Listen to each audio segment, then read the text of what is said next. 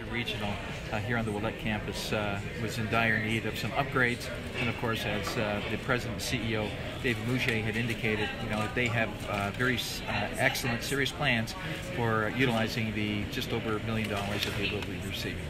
But it's no secret, obviously, that what they really want is a new hospital. Can you comment about where we're at about approving phase two money?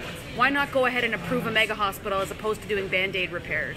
Well, it's an excellent question, you know, but as we look at it right now, I've been in discussions with uh, uh, Mayor Drew Dilkens, I've been in discussions with, uh, of course, uh, uh, Mr. Musyj, as well as with the, uh, the Minister of Health, Christine Elliott with regards to the, the plans for the new Windsor Regional Hospital. And that's moving along. Maybe it may not be moving along as quickly as we would like it, but there are some great plans. Initially, they are just wrapping up phase one right now.